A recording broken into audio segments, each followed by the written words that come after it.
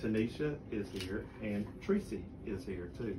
And um, we want to thank them for coming out as well. But how do they get in touch with Two Brothers if they want to order some ice cream or want to make sure you swing by their street? How do they do that? Hello, Just message us on. Facebook, All right, Instagram, ahead. and we have a YouTube channel, Two Brothers Frozen Tree. Okay. All right. So that's the best way to get a hold of them. Two Frozen Brothers.